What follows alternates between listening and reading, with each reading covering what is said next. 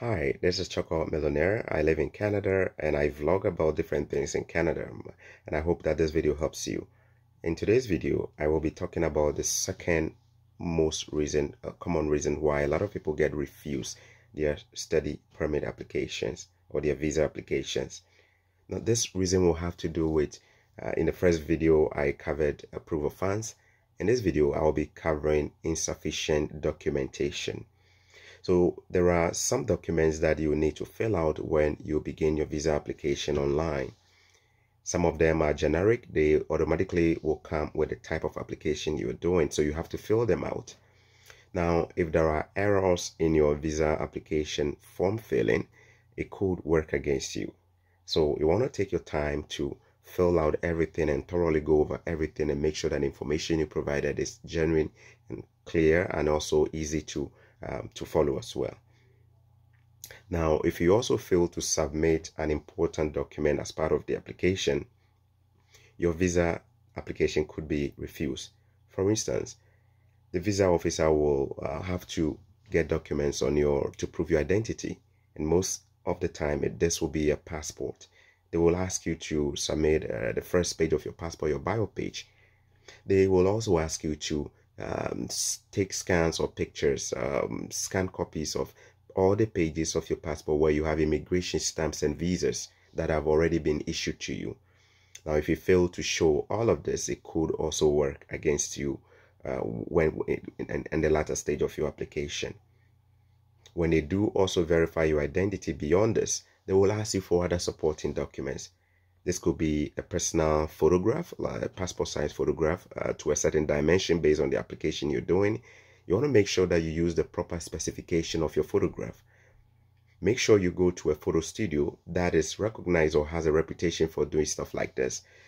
Uh, if your photo is not up to the specification, it could hurt your application or the officer may flag this.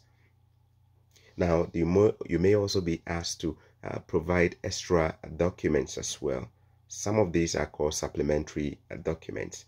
If you do not provide these additional documents, the visa officer may refuse your application on the grounds of insufficient documentation. For instance, you need proof of funds. You also need to give them a purpose of your travel by writing a letter to explain why you want to travel to Canada you also need to convince them beyond reasonable doubt that your intentions for traveling to Canada is just for the purpose of you traveling to do your studies. If the visa officer has reason to believe that you have not provided enough documents, they may use this as a reason to disqualify your application or refuse it. If you are coming in as a student, then you have to give them proof of your enrollment or proof of your admission. So this will be the proof, uh, the admission letter that the school issued to you. You're going to be attaching that. If you're on scholarship, then you need to show them proof of the scholarship you've received from the school, as this will go a long way to help explain the amount of scholarship that you have towards your tuition. All of this has to be submitted along with your visa application document as well. If you do not submit a proof of enrollment or admission into a school, and if you also do not submit proof of funds uh, in terms of your scholarship plus other funds for your personal expenses in Canada and when traveling, the officer may use this as a basis to refuse you. Now, in some situations, you may need to even show proof of your certificate to show that you graduated from a school and that was how you were able to apply for this particular new school in Canada. So if you have a bachelor's degree or a high school, you will need to provide original copies or a notarized copy of your certificate and your transcript. A notarized document simply means somebody of high repute, like a like a court uh, worker in a court, like a court clerk or a court admin, or a lawyer, or it could even be an administrator from your school. It could be a cleric, or it could even be uh, a pastor. It could be somebody of high repute. They just have to um, confirm that this is a true copy of the original document. They will stamp on it as well and you can upload that. Remember, if you are doing this online, please check the requirements and see what they're looking for. If they need the original, then if you're doing it online, you're going to scan the original document and then you upload it.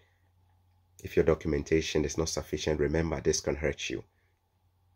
If you claim to also be married and you're coming with your spouse, then you need to show proof of this by providing some kind of proof to show that you are in some kind of union or with your partner. This could be a marriage certificate. This could also be um, a proof of your wedding photos and a proof of your common law. If you are in a common law, which is not a wedding, but you are with a person for a long time, you have to show proof. Remember, this is if you're bringing somebody else with you as a spouse. You need to show proof of your union with a person. If you're bringing in your child, you need to show proof that this person is your ward. It could be the passport of your child, it could be the birth certificate of your child, it could even be any document if this child is an adopted child of yours. Remember, the visa process here and the application is not an in person interview. The visa officer is going to be reviewing your document as though they are interviewing you. So anything that they require from you, you need to anticipate that in time ahead of time by knowing so you can give them exactly what they are looking for. Remember, insufficient documentation could be a reason for a visa refusal. And I hope this video helps you to organize your documents in terms of the primary documents, in terms of the supporting documents, and any other document that can make a good case for you.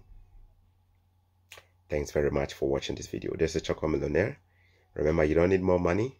You need more wisdom. Wisdom makes life easy for all of us. Thank you for watching. Subscribe, hit the like button, and drop me a comment if you enjoyed this video and share with your friends as well. Bye-bye.